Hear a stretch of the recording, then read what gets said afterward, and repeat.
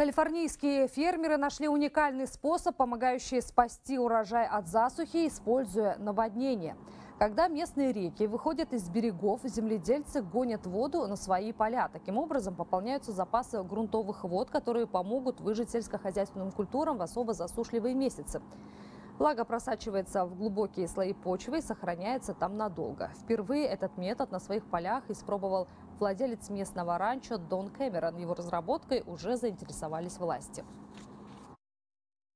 Uh, Первый раз этот метод мы применили в 2011 году. В 2017 и в 2019 мы эксперимент повторили. У нас есть большой насос, который может перекачивать 67 тысяч галлонов в минуту. Так что, когда наступят паводки, нам нужно будет быстро собрать и распределить воду по нашим полям, которые мы выделили для подпитки.